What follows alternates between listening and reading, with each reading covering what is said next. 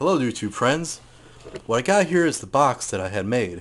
You can see I made it in retro style.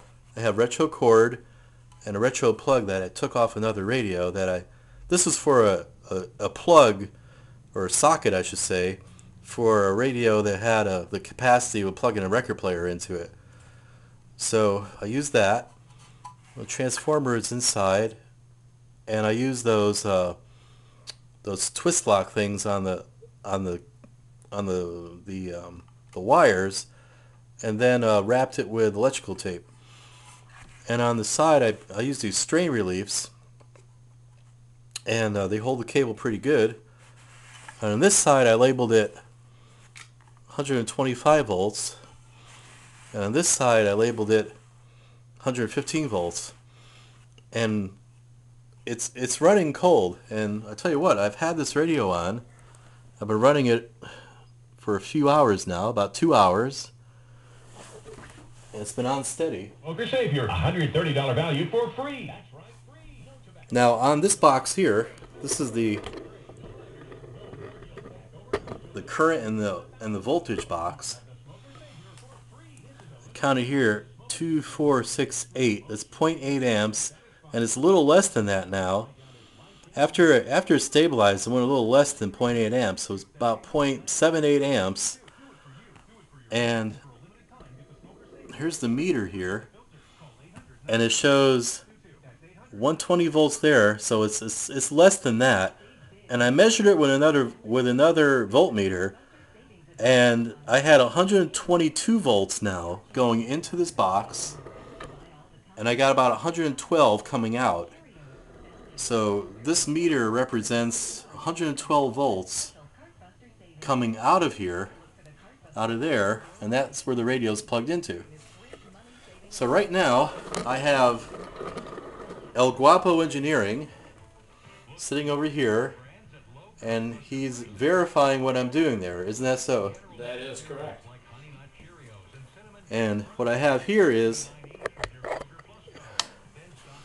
the um, clock here. I put this clock on. It shows an hour and 59 minutes. That's how long the radio has been on for. An hour and 59 minutes. Because I put the, the clock on as soon as I turn the radio on. So I could lower this a little so it doesn't interfere with our broadcast here. And any, anyway, I wanted to say is that Totally impressed with these fine these lights are slightly dimmer and the the magic eye is a little little dimmer too. We could expect that because it's about about 10 volts less than what was going into it. So now what I'm going to do is move this radio and I got to check that transformer and see how how hot it's running here. So move it away from the wall.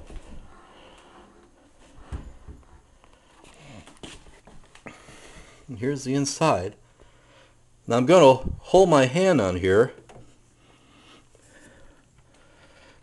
kind of like the, the Spanish Inquisition. Nobody expects the Inquisition. Okay, so I'm holding it on here, and before I could only hold on about 10 seconds before I would burn my fingers. And you can see I'm holding it on here. It's, it's warm. It is warm. It is not hot. It's not burning my fingers. I'm holding it on here. Pretty cool, huh? Well, it's not cool. It's warm, but I'm not burning myself. And then I'm going to check the field coil here. That's good. It's good. It's not hot. One would expect it to be a little warm after being on for two hours, correct? That is correct, sir.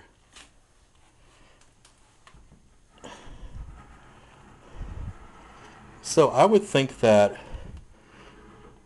this looks like a wrap here. It's on for two hours and one minute. Plays good. Now it may have a little less sensitivity. Two minutes here. The, the king from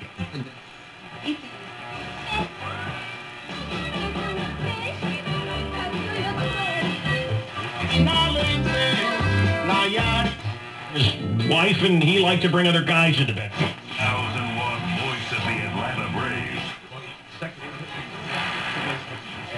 Take each other throats off trying to win.